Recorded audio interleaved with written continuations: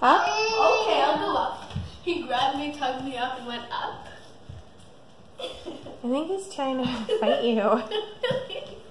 what are you doing? What are you doing, Noah? he says, stop. Where are you going? You gonna take Mikey somewhere? He says, I hate Perry the Platypus.